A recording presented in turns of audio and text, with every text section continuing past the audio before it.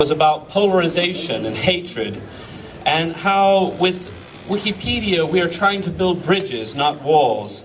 And Wikimania really shows this. All of the people coming together from all around the world to talk about all of the things to make Wikipedia better. Indeed, sessions on how to deal with language barriers in communication. Instead of hate, we have each other.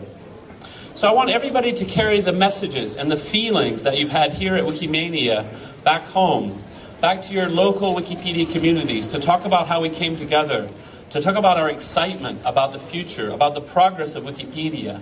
And let's think about how we can bring more people in. We need more editors in more languages. Let people to join our movement to share knowledge all around the world. I have some specific thank yous. Um, one of the things that I did in my opening ceremony was to welcome our new board members.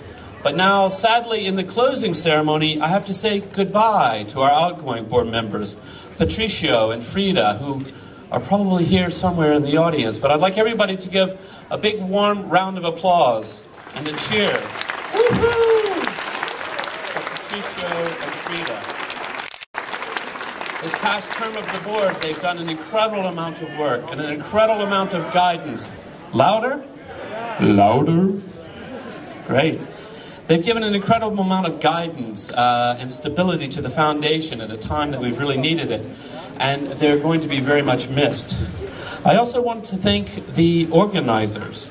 They've put in so much work here at uh, Wikimania before. It takes a long time and a lot of effort and a lot of different moving parts to pull something like this off. And they've given us so many wonderful memories that we'll carry home with ourselves.